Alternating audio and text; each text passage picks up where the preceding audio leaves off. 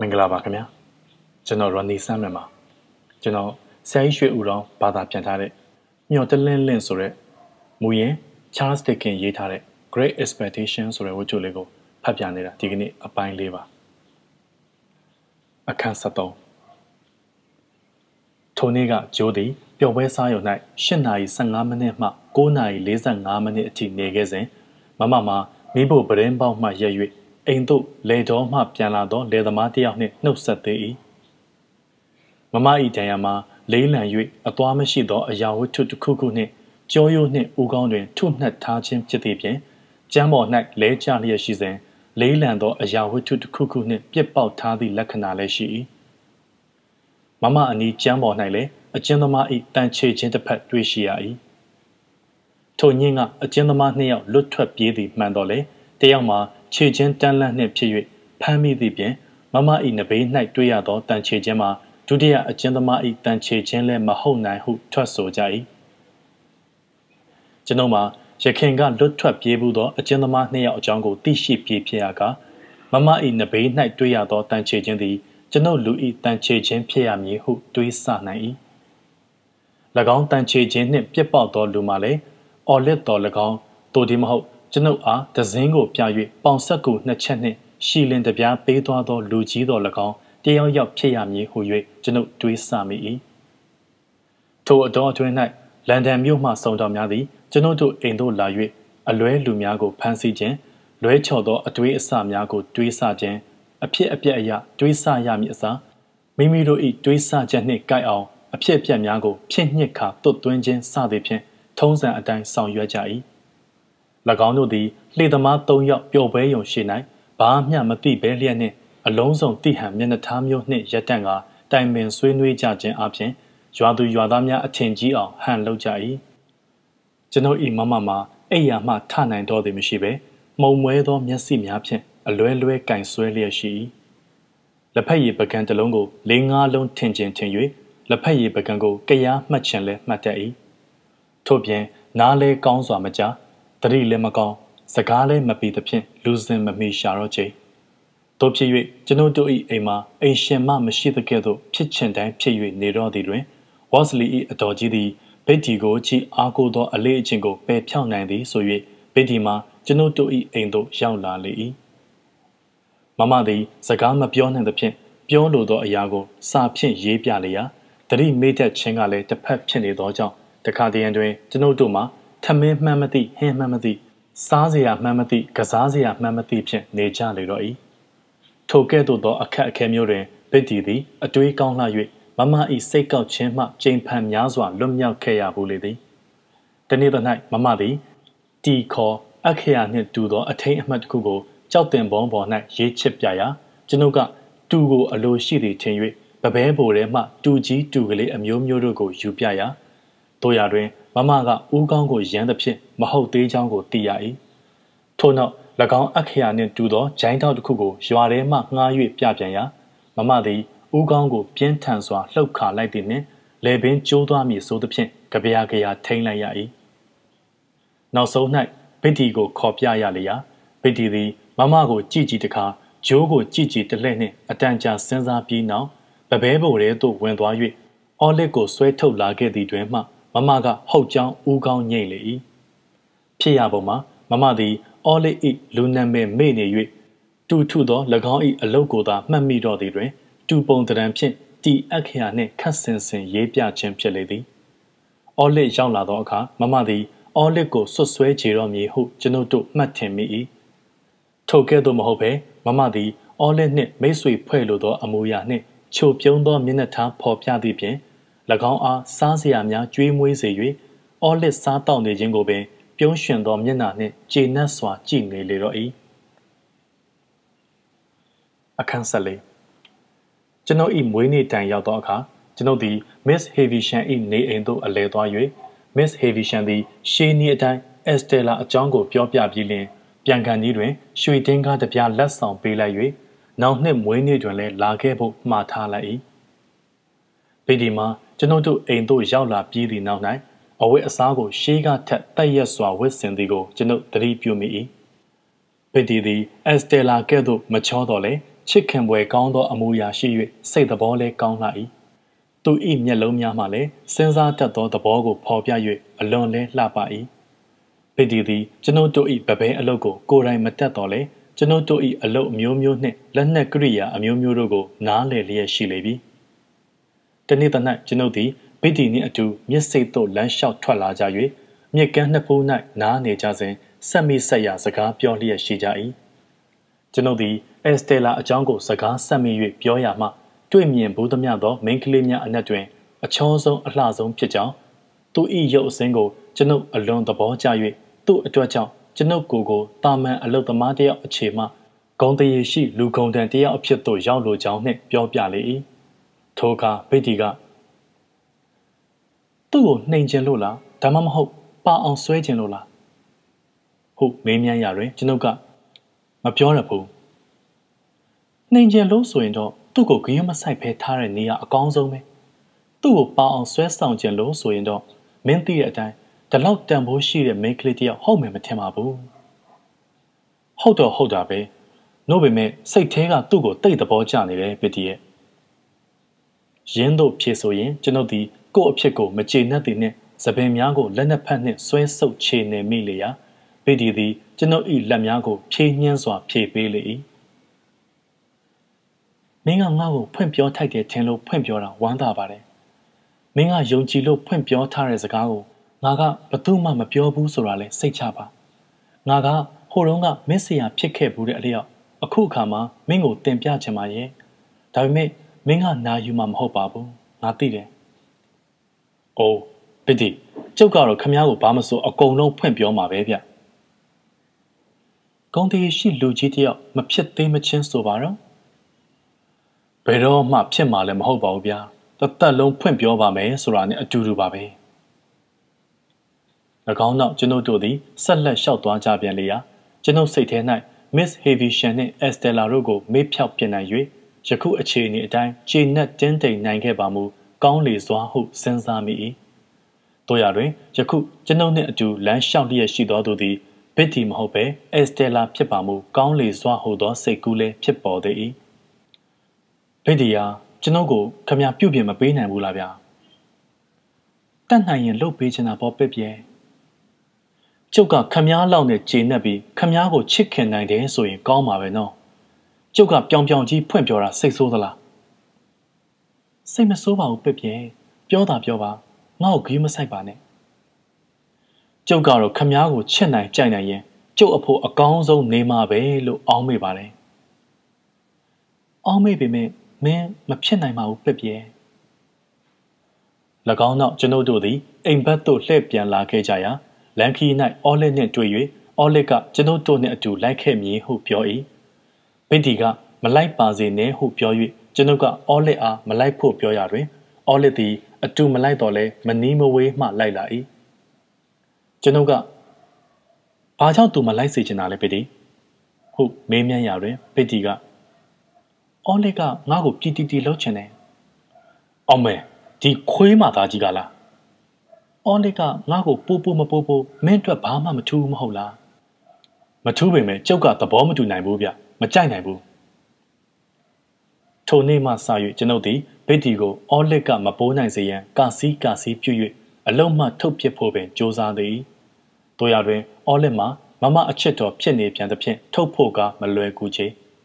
အော်လက်သည်ဤအကြောင်းကိုရိပ်မိ၍ကျွန်ုပ်အားအနှောက်အယှက်ပြုသေးကြောင်းမှာနောက်အခါ၌ထင်ရှားပေလိမ့်မည်တခါတည်းကျွန်ုပ်၏စိတ်ထဲ၌ဘစ်တီသည်အက်စတေလာထက်အပြန်90တာလွန်ကြောင်း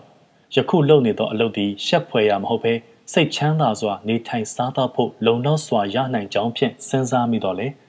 Miss Havisham နှင့် Estella တို့ကိုတတိယ၍ Miss Havisham သည်ကျွန်ုပ်အဖို့တနေ့နေ့တွင်တခုခုလုပ်ပေးလိမ့်မည်ဟုသောမျှော်လင့်ချက်ဝင်လာသောအခါရမူကားမူလစိတ်ကူးများသည် လေတိုက်ခတ်သောဖွဲကဲ့သို့လွင့်စင်ထွက်ပြေးကြကုန်၏အခန်း15 ဂျိုးဤလက်ထောက်ပညာသင်အဖြစ်နှင့်အလုပ်လုပ်ခဲ့၍လေးနှစ်မြောက်သောစနေနေ့တစ်နေ့တွင်လှေသမား၃ယောက်ပျော်ပွဲစားရုံ၌မစ္စတာဝေါ့စ်လီကသတင်းစာဖတ်၍ဂျိုးနှင့်ကျွန်ုပ်တို့အပါအဝင်ဖြစ်သောလူစုသည်စိတ်ဝင်စားစွာနှင့်နားထောင်လျက်ရှိကြ၏သတင်းစာ၌လူတက်မှုတစ်ခုအကြောင်းကိုအတော်စုံလင်စွာရေးသားဖော်ပြပါရှိလျာစာဖတ်သောဝေါ့စ်လီသည်သတင်းစာကိုချထား၍အမှုအကြောင်းကိုပြန်လည်ဆွေးနွေးကြရာတွင် မတင်ကားသဖြင့်ပလိတ်ကဖမ်းဆီးဆွဆွဲထားသောတရားခံသည်အေကံမုတ်ချလက်တဲ့အစစ်အမှန်ဖြစ်ရမည်ဟုအသီးသီးကဖြောင့်ချက်ပေးကြလေသည်ထိုအခါဝိုင်းအစွန်း၌စိတ်ငြိမ်စွာနားထောင်လျက်ရှိသော လူကြီးတယောက်ကရုတ်တရက်ကြားဖြတ်၍တရားခံတယောက်သည်အပြစ်ရှိသည်ဟုလုံလောက်သောတတ်သေးတာတကမဖော်ပြနိုင်သေးသမျှကာလပတ်လုံးအပြစ်မရှိသော လူတယောက်ဟု၍ယူဆထိုက်သည်ဟု ဥပဒေကဆိုထားသည်ဖြစ်သောကြောင့် ကျွန်ုပ်တို့၏ထင်မြင်ချက်များသည်ဥပဒေနှင့်မလျော်ညီကြောင်း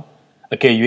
ဤဝိုင်း၌ရှိသောလူတယောက်သည်ဤအမှုတွင်ဂျူရီလူကြီးအဖြစ်နှင့်ပါဝင်ရမည်ဆိုပါကတရားခွင်သို့မဝင်မီကတည်းကတရားခံအပေါ်၌အပြစ်ရှိသည်ဟုဆုံးဖြတ်ထားပြီးဖြစ်၍လွတ်လပ်စွာဆင်ခြင်ဆုံးဖြတ်နိုင်တော့မည်မဟုတ်ကြောင်းရင်းတို့ဆိုလျင်မှန်ကန်သောအဆုံးအဖြတ်ကိုမရနိုင်ပဲတရားခံအဖို့နစ်နာဖွယ်ရာရှိကြောင်းများနှင့်အကြောင်းပြပြောဆိုရာတွင် ကျွန်ုပ်တို့လူစုသည် ရှေ့ဆောင်၍ထင်မြင်ချက်ပေးမိသောဝေါ့စလီအားလူညံ့တယောက်အနေဖြင့်ငေးကြည့်နေကြလေ၏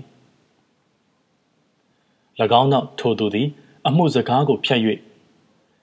ဤရွာ၌ဂျိုးကာဂရီအမည်ရှိဗဘဲသမားတယောက်နှင့်ပစ်အမည်ရှိတပည့်တယောက်ရှိပါသေးသလားဟုမေးသဖြင့်ကျွန်ုပ်တို့ကကျွန်ုပ်တို့ပင်ဖြစ်ကြောင်းပြောဆိုရာတွင်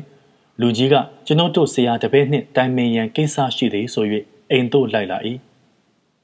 ဤလူကြီးသည်ကအခြားမဟုတ်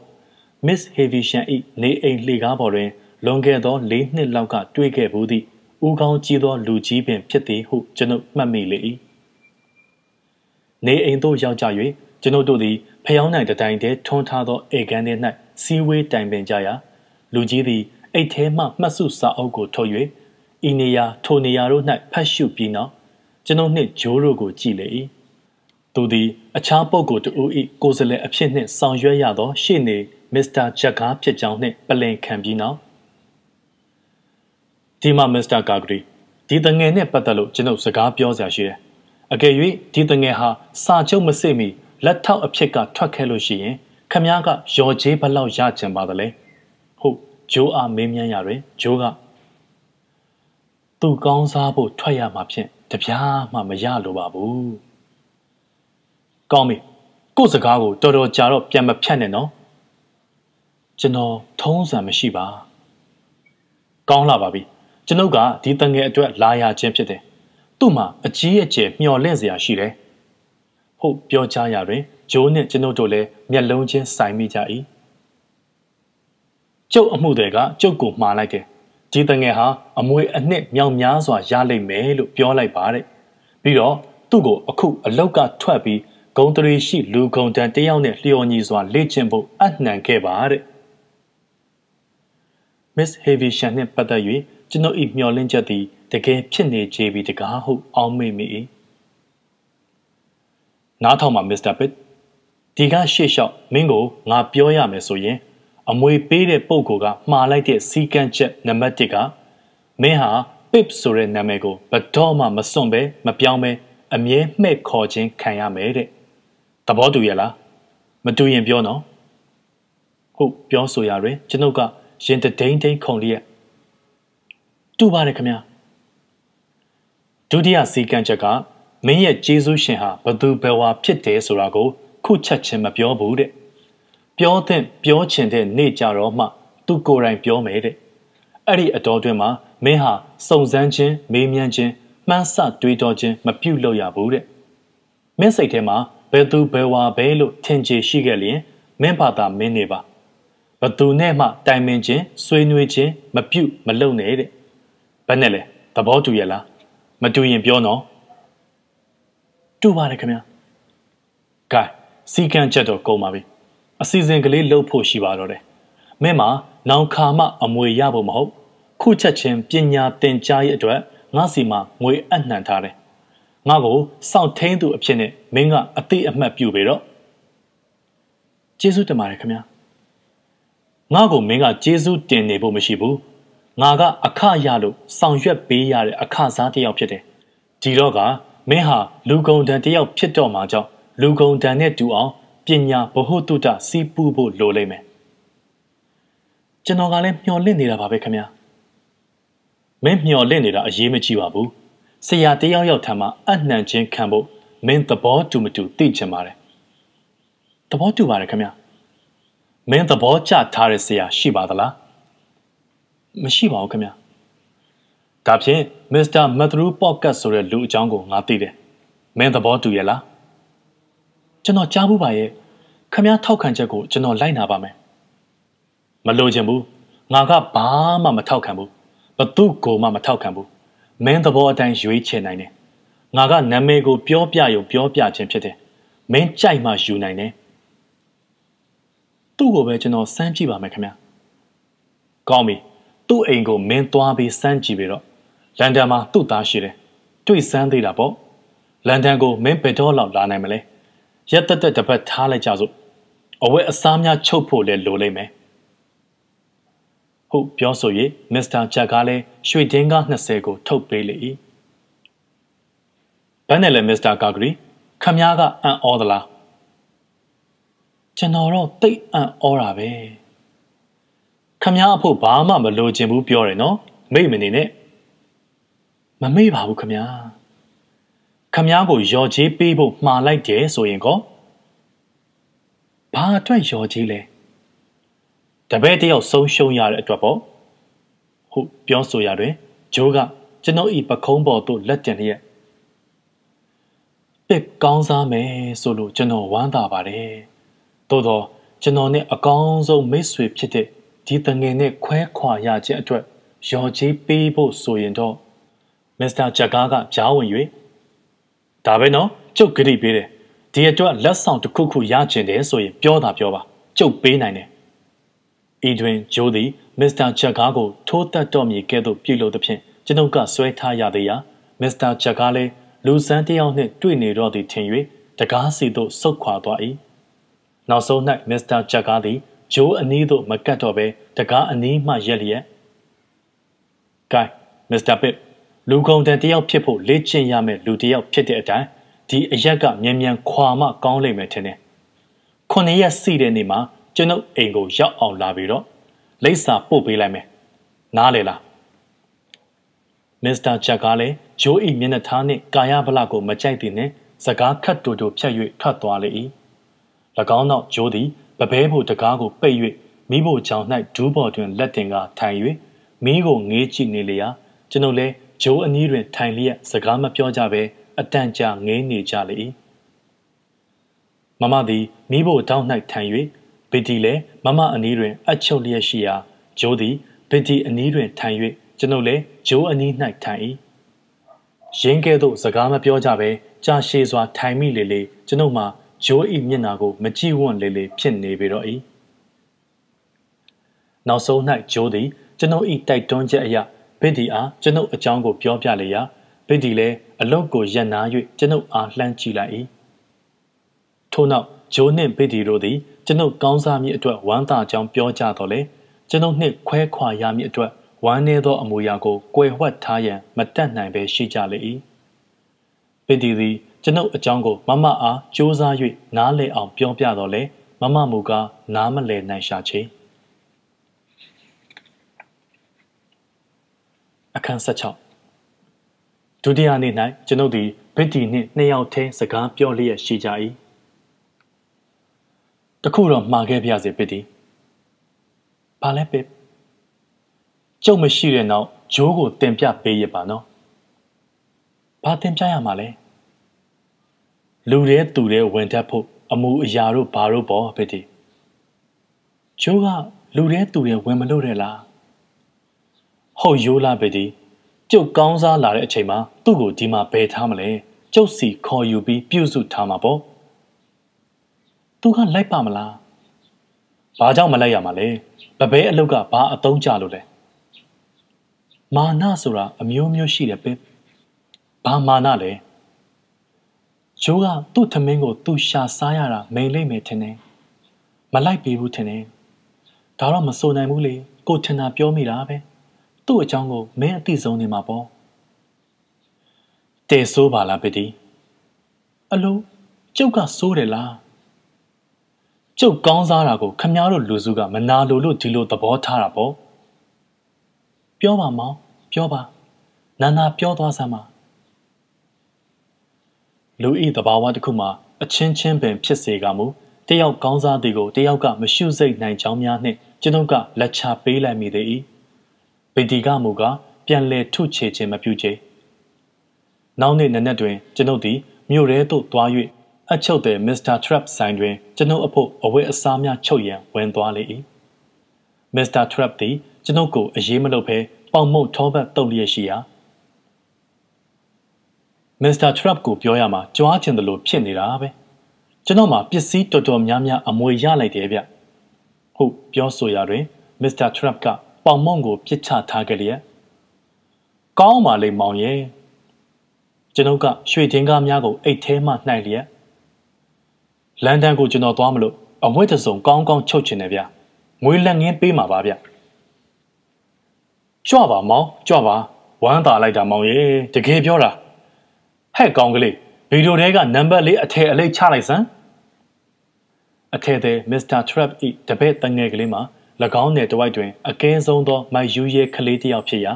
ကျွန်ုပ်ဝင်လာသောအခါ၌ဆိုင်ထဲတွင်တပြက်လှဲလျက်ရှိ၍ ပပဲသမားလက်ထောက်မြလောက်ကိုအရေးလုပ်ဖို့မလိုဟုသောအနေမျိုးဖြင့်အမှတ်များကိုကျွန်ုပ်ဘက်သို့တမင်လှဲထုတ်လေ၏မစ္စတာထရပ်လည်းတငယ်၏အပြုတ်မူကိုရိပ်မိသည်နှင့်ဟေးကောင်းကလေးအထဲအလိတ်ချလိုက်လို့ဇက်ပြုတ်သွားမယ်လောက်ပါဟာမြင်မြန်တဲငါလေးမစ္စတာထရပ်သည်အထဲအလိတ်များကိုစပွဲကြီးပေါ်၌တလိပ်ပြီးတလိပ်ဖြန့်လျက်ကျွန်ုပ်အားလောကဝတ်စကားများပြောကြည့်တကားကောင်ကလေးအားငေါ့ချီတလှည့်ဖြင့် အထဲ၄၅၈လိပ်ခန့်မြစိတ်ရှည်လက်ရှည်ဖြန့်ပြလေ၏ဤအတော်အတွင်းကောင်ကလေးကကျွန်ုပ်အားမထီမဲ့မြင်ပြုချေအုံးမည်လောဟုကာကွယ်သောအနေဖြင့်မကြာခဏမျက်စောင်းထိုးကြည့်သေး၏ဤတွင်ကျွန်ုပ်သည်ငွေမျက်နှာကြီးပုံအကြောင်းကိုပထမအချိန်တွေ့ကြုံခဲ့ရ၏နောက်ဆုံး၌ကျွန်ုပ်ကြိုက်သောအထည်ကိုရွေးပြီးသောအခါမစ္စတာထရပ်သည်ကျွန်ုပ်၏အဝတ်များကိုချုပ်နေကြဖြစ်၍အတိုင်းအထွာကိုတိပြီးဖြစ်တော်လဲ အသစ်တိုင်းထွာရမှကျေနပ်နိုင်မည်ဆို၍ကျွန်ုပ်၏ကိုကိုတယိုတသေးတိုင်းထွာလေ၏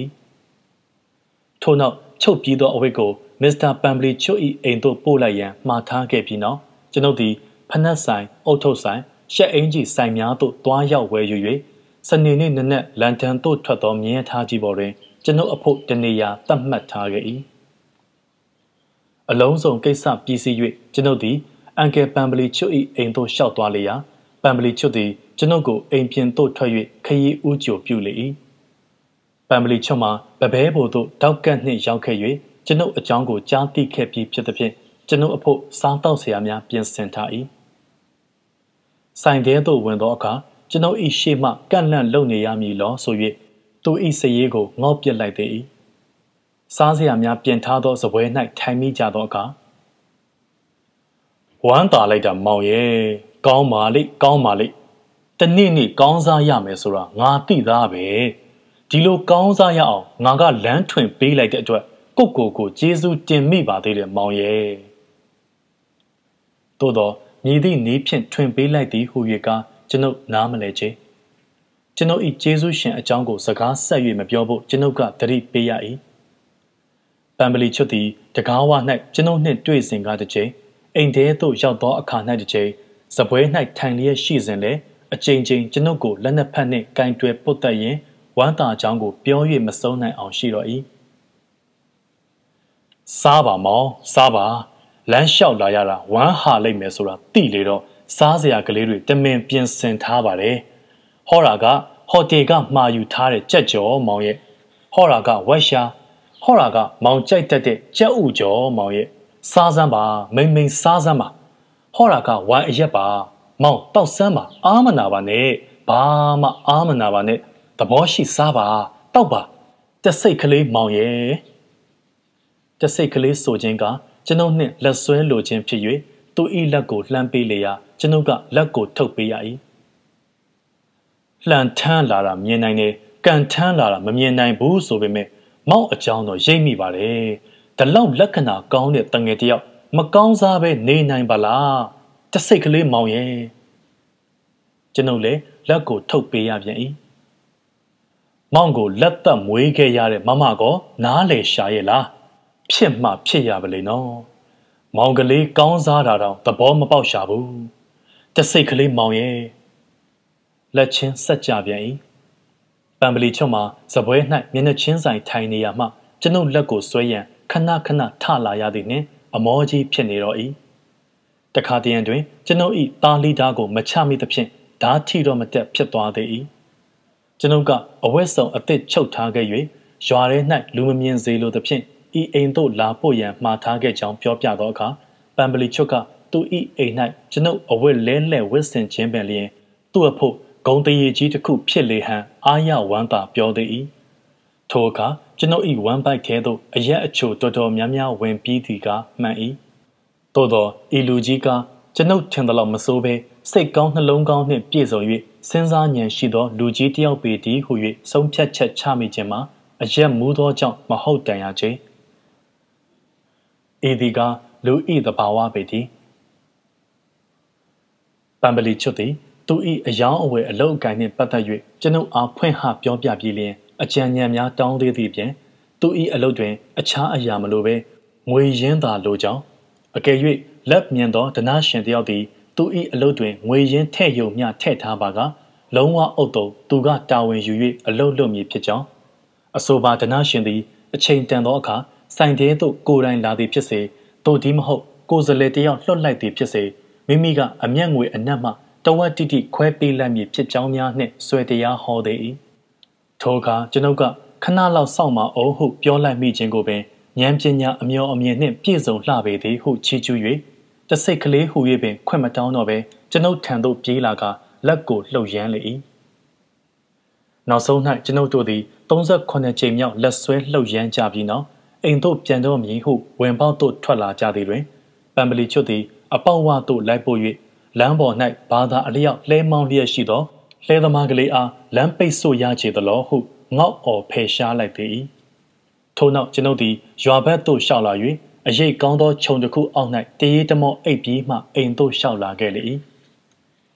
ကျွန်ုပ်သည်အနှင်းငယ်မျှသောကျွန်ုပ်၏ပစ္စည်းကလေးများကိုရွေးချယ်ထုတ်ပိုး၍တောက်ကြနေသို့ရောက်သောအခါပံပလီချွတ်၏အိမ်သို့အဝက်လဲလှယ်ရန်သွား၍ Miss Havisham ကိုနှုတ်ဆက်ရန်သွားရမည်ဖြစ်၏ကျွန်ုပ်၏ဝစ်စုံအသစ်မှာ အဝက်တစ်တို့၏ထုံးစံအတိုင်းစိတ်ကြည်နက်လောက်အောင်မရှိလှတော့လေစမ်းသက်ဝစ်ဆင်လိုက်သောအခါတွင်မစိုးလှဟုအောင်းမိရ၏ထိုနေ့မှာအနီးအနားရှိမြို့၌ဈေးနေ့ဖြစ်၍ပံပလီချွတ်သည်အိမ်၌မရှိပေရာကျွန်ုပ်သည်၎င်း၏အခန်း၌အဝတ်သစ်ကိုလဲလှယ်ဝတ်ဆင်ပြီးနောက် Miss Havisham ၏နေအိမ်သို့ရှောက်လာခဲ့လေ၏ကျွန်ုပ်သည်အဝတ်သစ်ကြီးဝတ်လျက်လူမြင်မခံလိုသည်နှင့်လူရှင်းသောလမ်းများမှကွေ့ကောက်လျှောက်သွား၍ Miss Havisham ၏နေအိမ်သို့ရောက်သောအခါ Miss Pocket သည်တကားဖွင့်ရန်လာ၍ကျွန်ုပ်ကိုမြင်လိုက်ရာတွင်လဲလူမတက်ဖြစ်သွားသည့်အပြင်၎င်း၏တစ်ကြားသည့်မျက်နှာမှာလည်းစိမ့်ဝါရောင်ဖြစ်သွားလေ၏မစ္စဟေဗီရှန်ထံတစ်ခေါက်သွား၍မေးပြီးမှကျွန်ုပ်ကိုခေါ်သွင်းသွား၍မစ္စဟေဗီရှန်၏အခန်းသို့ရောက်သောအခါမစ္စဟေဗီရှန်မှာလက်ထက်ကိတ်မုန်ကြီးရှိသောအခန်းထဲတွင် တောင်ဝေးတစ်ချောင်းနှင့်ဇင်းကြံရှောင်လျက်ရှိ၏မစ္စဟေဗီရှန်သည် မစ္စပေါ့ကအားစောင့်နေရန်ပြောပြီးနောက်ဖမ်းနဲ့လဲပစ်ကျွန်တော်လန်ဒန်သွားတော့မှမို့နှုတ်ဆက်ဖို့လာပါတယ်ခင်ဗျာဝင့်လို့စားလို့ပါကလားကွကျွန်တော်မှအမွေရလို့မို့ကျေးဇူးတင်ပါတယ်ခင်ဗျာဟုတ်ပြောဆိုရတွင် Miss Havisham သည် Miss Pocket ၏မနာလိုသောမျက်နှာကိုအရသာနှင့်လှမ်းကြည့်လိုက်လျက်အေးလီမစ္စတာချက်ကားနဲ့တွေ့လို့ငါကြားပြီးပါပြီမင်းမနှက်ဖြန်သွားမှာလား မှန်ပါတယ်ခင်ဗျာမင်းကိုလူချမ်းသာတယောက်ကမွေးစားရဲဆိုဟုတ်ပါတယ်ခင်ဗျာမစ္စတာချက်ကားကမင်းကိုထိမ့်သိမ့်စောင့်ရှောက်ရမယ်ဟုတ်စားမှန်ပါတယ်ခင်ဗျာ Miss Pocket သည်ဤစကားကိုကြားရ၍ညူစုလျက်ရှိရာ Miss Havisham လည်း Miss Pocket ၏မျက်နှာသားကိုအရသာနှင့်ကြည့်လေ၏မင်းတော့ရှေ့လျှောက်ကောင်းစားဖို့ကြီးပဲတိုးတော့ထိုက်တန်အောင်သာကောင်းကောင်းမွန်မွန်နေကွနော် မစ္စတာချက်ကားရဲ့စကားကိုနားထောင်ရမယ်ကောင်းလာပါတယ်ခင်ဗျာကဲသွားပြီတော့ပစ် Miss Havisham သည်လက်ကိုဆန့်တန်းပေးရာကျွန်ုပ်သည်ကျမ်းပေါ်တွင်ဒူးထောက်၍နှုတ်ခမ်းဖြင့်ထိလေ၏ဤအတော်တွင် Miss Havisham သည် Miss Pocket ကိုစိုက်ကြည့်နေလေ၏ Miss Pocket သည်ကျွန်ုပ်ကိုလိုက်ဖို့စဉ်ကျွန်ုပ်ကနှုတ်ဆက်တော်လဲပြန်မပြောဘဲပါဇက်ဟ၍ငေးကြည့်နေလေ၏ထိုနေ့မှာနောက်ဆုံးနေ့ဖြစ်၍ကျွန်ုပ်သည် အဝတ်သစ်ဝတ်လျက်နှင့်ပင်ဧကန်း၌အိမ်သားများနှင့်အတူထိုင်ကာစကားပြောလျက်ရှိရာအထူးနှင့်ဆို၍အထူးစားစရာများစီမံတော်လဲမြည်သူမှကောင်းစွာမစားနိုင်ချေကောင်းစားဖို့ဆို၍ရှင်လန်းအောင်ကြိုးစားကြတော့လဲအထူးနှုတ်ဆက်လျက်ရှိကြ၏ကျွန်ုပ်သည်နနက်9နာရီထွက်မည့်မြင်းရထားကြီးကိုစီးရမည်ဖြစ်ရာယထာစိတ်သို့ဂျိုးနှင့်အတူရှောက်သွားခဲ့လျင်ဂျိုးနှင့်ကျွန်ုပ်အလွန်ကွာခြားနေသည်ကိုရှက်သောကြောင့်ဂျိုးအားလိုက်မပို့စေပဲ တရေအိတ်ကလေးကိုလက်ဆွဲလျက်ကျွန်ုပ်တယောက်တည်းရှောက်လာခဲ့လေ၏အတန်ငယ်ရောက်လာ၍လှည့်ကြည့်လိုက်သောအခါဂျိုးကဖက်နှက်ဟောင်းတစ်ဖက်ဘစ်တီကဖက်နှက်ဟောင်းတစ်ဖက်ကန်လျက်ကျွန်ုပ်နောက်ပြစ်ပေါက်နေကြသည်ကိုတွေ့ရ၏ကျွန်ုပ်ကအုတ်ထုပ်ကိုမြှောက်ရမ်းပြ၍ဂျိုးကလက်ကိုမြှောက်ရမ်းပြရာဘစ်တီမူကားမျက်နှာကိုအဝက်နှင့်တုံလျက်ရှိ၏မမမှမူဘာကိုမျှနားမလဲရှာပဲတရီတဲ့ရီမောလျက်ရှိ၏ လန်ခီ၌ကျွန်ုပ်သည်ခြေလန်းမှန်မှန်နှင့်ဟန်မပြတ်လျှောက်လာခဲ့ရမှာရုတ်တရက်အကြီးအကျယ်ရှိုက်လာပြီးလျင်ပြင်းထန်စွာငိုကြွေးမိသေး၏လောက၌မျက်ရည်ကျခြင်းသည် လူတို့၏ခတ်ထန်ထောင်လွှားသောစိတ်သဘောကိုနှူးချလိုက်ပြီးတကဲ့သို့ရှိပေရကရှက်ဖွယ်သောအချင်းအရာတစ်ခုမဟုတ်ချေထိုကဲ့သို့ငိုလိုက်ရပြီးနောက်ကျွန်ုပ်၏စိတ်ထဲမှာနူးညံ့ပျော့ပြောင်းလာတော့သည်ဖြစ်ရာအကယ်၍အိမ်မှမထွက်မီငိုမိခဲ့ပါကကျွန်ုပ်သည် ဂျိုးကိုယထာစိတ်သို့ရောက်အောင်လိုက်၍ပို့စေအောင်မည်ဖြစ်ပေသည်